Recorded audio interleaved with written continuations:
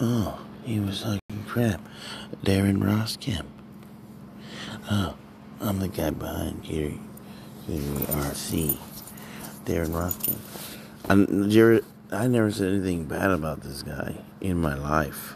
Okay, he's over here calling me names like uh, retarded on stuff on his community tab, and um, you know, I never did anything to this guy.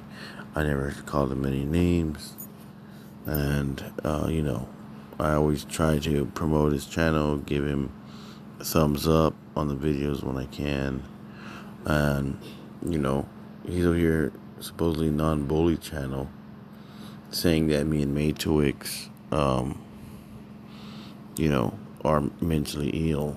You know, that's that's coming from a bad place. You know what I mean? Uh, Darren Roskam behind KDRC. Subscribe.